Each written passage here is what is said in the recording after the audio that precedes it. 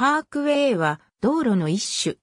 実際の公園的な道路の意味においても数多くの持つ同義語があるが、手入れの行き届いた道路のエリアや道路の種類の意味を表す。いずれかの種類の語も世界中で使用されている。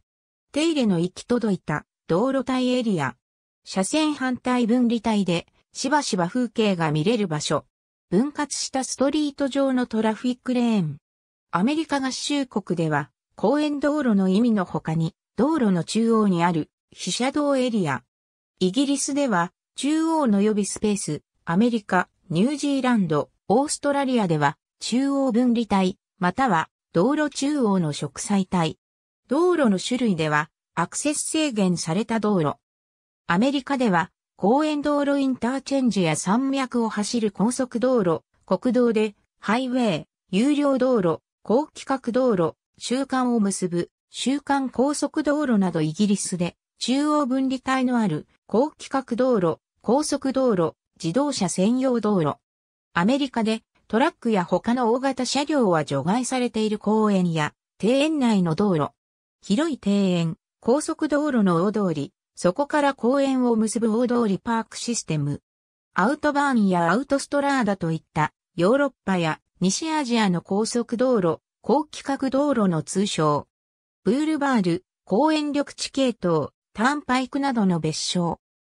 イデヒサとは、景観づくりを考えるにおいて、緑豊かな道路を一般には、パークロードとか、パークウェイという言い方をし、この言葉はアメリカで発達したが、パークウェイにはいくつかの概念があり、日本で用いられている言葉としてのパークウェイというのは、アメリカの諸種のパークウェイという概念の中の一部のことが多いとし、次のように述べている。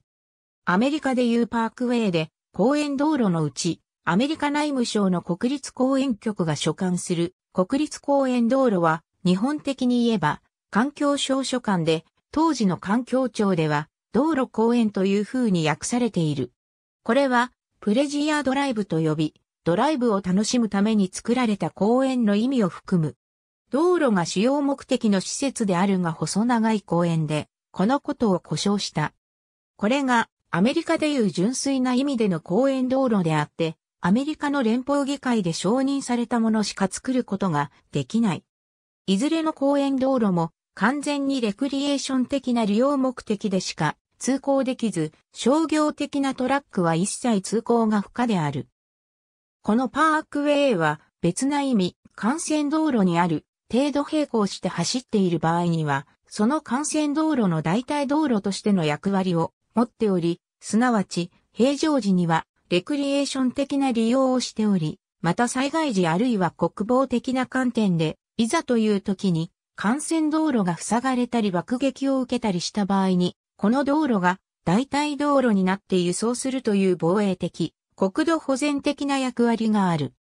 こういうものは日本ではほとんどなく、快適なドライブウェイというのは熊本県には山並ハイウェイなど、こういうものは全国でも数少ないとしている。その他のはアメリカ内務省の道路局所管のもので、州道路行政環境議会が定義している。これには二つの内容があり、一つは公園内道路というもので、日本で言えば国立公園や国定公園、あるいは都市公園で非常に広大な中の道路で、パークロードといった方がいいものをアメリカ国内では公園道路と言っている。この公園内の道路、パークロードは自然公園などの大規模な公園の中を通っており、非常に優れ、また景色の良い道路になっている。日本では旧建設省サイドで公園道路と訳された。言葉の訳し方が国立のものと州のものとで、日本で環境庁と建設省とで違っているが、内容も両者は違っている。また、アメリカでは各都市にどこの都市でも並木や周りに緑地を多く配した道路をパークウェイと愛称をつけているものがある。週間道路でこれは必ずしも公園の中ではなくいわば都市部等で公園風に集計されて緑の多い道路を公園道路と呼称している。別称ではパークライクロードと呼び公園風に周囲が集計された道路のことであり、こういうタイプの公園道路が各地で必ずある。アメリカではこの他に公園と公園をつなぐ道路、公園と公園をつないでいくというパークシステムで、都心部の公園から郊外の公園、あるいは自然地域の自然公園を道路でつないで一回りする公園と公園をつなぐ公園連絡道路もパークウェイと呼ばれる。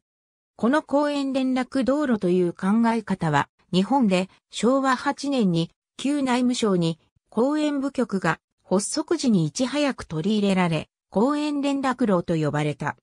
しかし、実際にはこういうものは実現しておらず、これに代わる規模が小さいもので緑道が都市公園法で定義された。規模が小さいながら一種の公園連絡道路的な役割を満たしている。このように、パークウェイという言葉を一つとっても、以上のような概念があり、いずれも非常に緑豊かな道路である。アメリカでは、このようなパークウェイの他に、一般道路をできるだけパークウェイ化しようとする動きがある。